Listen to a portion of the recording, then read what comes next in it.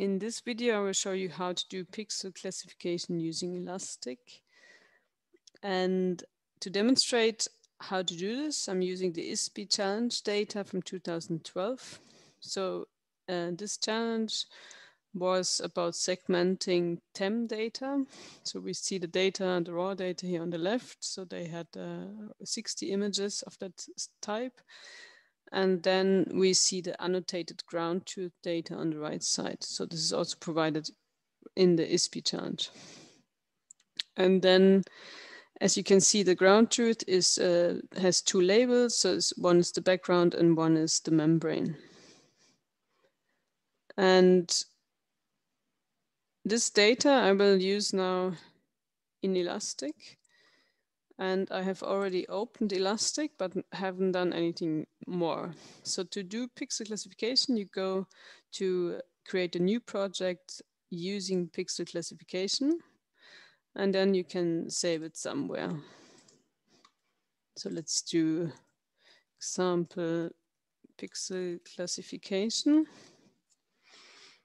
And then this is the main uh, interface then to do pixel classification. And you can see here on the left, that's a workflow that we will be building. So it's kind of, uh, we are saying what's our input data. Then we select our features. So we will talk in a second about this. We'll train the data or we train the classifier. We um, tell Ilastik where to save everything. And then um, the batch processing is then we can apply our trained classifier to all uh, to other images. So for the input data, I'm using a part of the ISBI um, set that I call now my train volume. And I can just drag and drop it. And then you can um, enlarge that image. You can zoom in by pressing control and scrolling. And you can go through the different stack uh, slices of the stack also um, with the mouse wheel. That is basically all that we need to know. So we see also here in the shape that we have 15 slices and each is 512 times 512 pixels. So that's fine. And then we go to the next step, which is the feature selection, which is um, selecting the filters that we want to use for the pixel classification.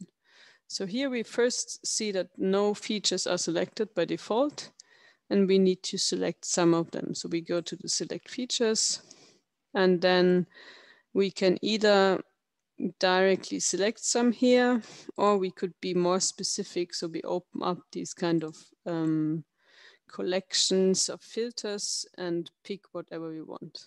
So we see that we have different filters that are sorted to uh, subcategories. And then we see that for each filter, we can um, give different sigma sizes. And that is the filter kernel size of the filter. And then we can choose whether we want to, um, to compute the filters in 3D or in 2D. Um, so in this case, it is a Z stack, so we, we, we could do it in 3D, but to ease it, uh, we could, uh, we, I changed it to 2D. That's enough. And then one now could select reasonable filters. I will just pick a few now just for testing. And so I pick those and say, okay. And then what is very nice in Ilastik is that you can then look at these um, filtered images. So again, one could enlarge the image and then here appear now the filtered images as we have selected them. And then again, we can zoom in with the control mouse wheel and we can see the effect of these filters. And also, for example, we could decide, okay, we don't really need that filter and then go here and remove it again if we really want it. Okay, so now that I have selected the filters, um, I go to the third step, which is the training step. Again, I like to increase it. And um, we can see here that we have like already prepared automatically are two labels. So we could have um, like one label for the membrane. So I'm double clicking here to change the name and one for the background. And I could add more classes if desired. In this case, we said that the ground truth data is also only two labels like background and um, foreground. So I leave it like that. And um, I can change. So what I do now is um, to annotate different regions that I would consider backgrounds. And then if I want to have like cytoplasmic membranes, I mark them. And as you can see um, here, we could change the size of our brush. Let's say, for example, like this. And I also there's a small eraser that helps us to remove labels if they're wrong. And then as soon as we press live update, we can see kind of the training that is, or the classification that is done with the with these with training on these classified pixels.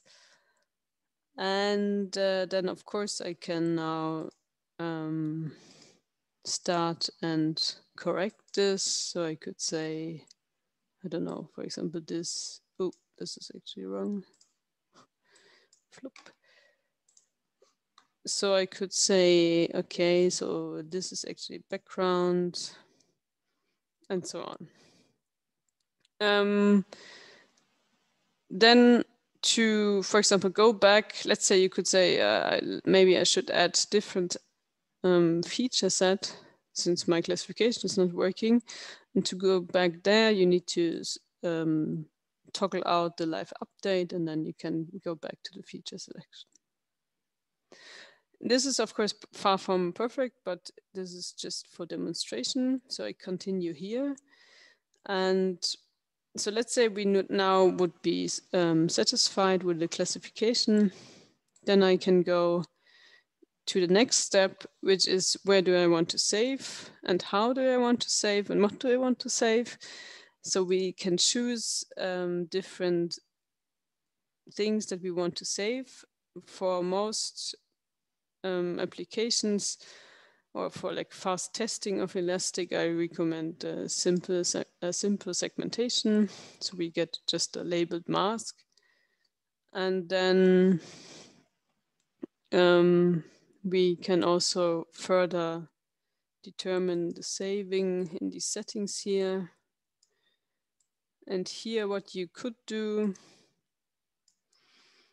is um, first, of course, check where it saves it. So here it is saved in the directory where my dataset is with a um, default name and it is saved in the HDF5 format, which is good for big file formats. But if you just want to quickly test the Ilastik pixel classification, then you can of course also save it. And in this case, I will save a multi-page TIFF because I have a stack, a TIFF stack. That's in theory already enough. So you would not need to do anything else in that particular example. And then what we of course want to do is now, so of course now I could say export all, and then it would export my input stack and it would export the segmentation of each pixel of this input stack to my um, folder. Okay, and then once we have um, set where we want to save or to export everything and how we want to do that, then what we can do is now um, apply the classifier that we had trained on a certain data set to uh, more data. And this is under the step um, batch processing. And so the best thing to do here is to, again, select where your files. So this I call then the test volume. And um, then, as I said, so it will apply the classifier that we had learned on our input data um, to this new data set. And to do that, then, or to do all the entire workflow, what we need to click now is to process all files.